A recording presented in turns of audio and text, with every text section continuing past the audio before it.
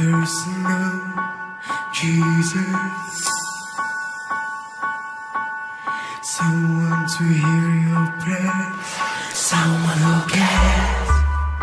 Woo! Your own personal Jesus. Someone to hear your prayers, someone who's there.